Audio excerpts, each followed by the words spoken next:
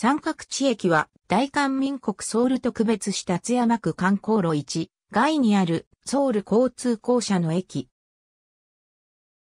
4号線は相対式ホーム2面2線を有する地下駅でフルスクリーンタイプのホームドアが設置されている。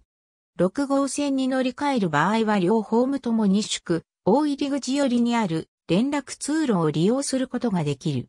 改札口は2カ所あり、化粧室は改札内に1カ所ある。出入り口は1番から6番までの合計6カ所ある。6号線は島式ホーム一面2線を有する地下駅で、フルスクリーンタイプのホームドアが設置されている。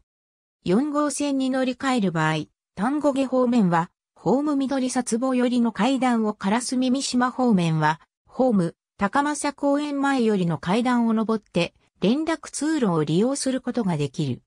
改札口は2カ所あり、化粧室は改札外に1カ所ある。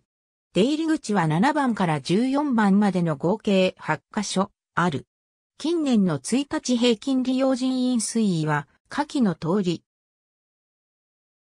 なお、6号線の2000年は開業日の12月15日から12月31日までの17日間の平均である。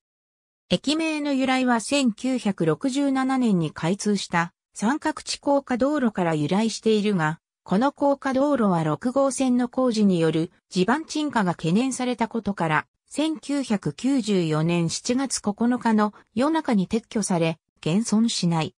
歌手、ベホが歌った戻る三角地も、この三角地高架道路がモデルとなっている。駅構内には、彼とこの歌を記念して、ハイコ出会いの広場が設置されている。